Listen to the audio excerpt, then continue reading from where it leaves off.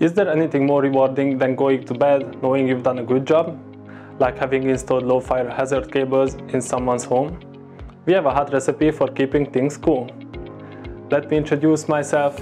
I'm Eric, Marketing and Product Management Specialist at Prysmian Group. Today, I'd like to introduce to you one of our recent achievements in product development. The Prysmian NH-XMH installation cable is now approved according to CPR class B2CA.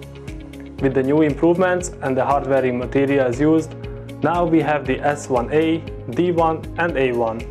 This means that our halogen-free cable emits less toxic smoke and corrosive acids compared to PVC cables.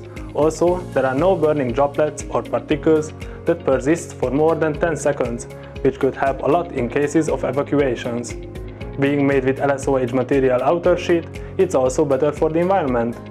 The German-made high-quality NH-XMH cable can be laid in, on or under plaster in dry, humid or even wet rooms.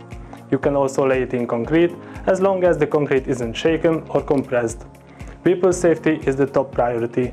Choose low smoke, zero halogen cables, choose Prysmian NH-XMH. Go ahead, jump at the opportunity and place your order today. Find out more about our fire-resistant cable by visiting our web catalog.